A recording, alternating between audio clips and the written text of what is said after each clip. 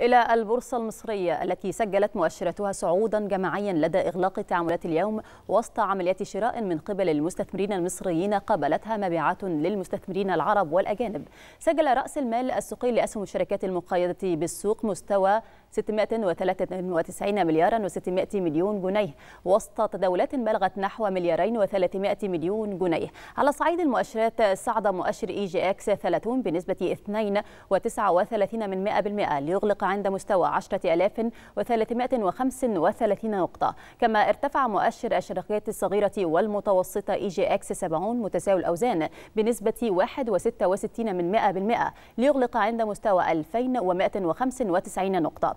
صعد مؤشر EGX 100 متساوي الأوزان بنسبة 1.85 من 100% ليغلق عند مستوى 3151 نقطة.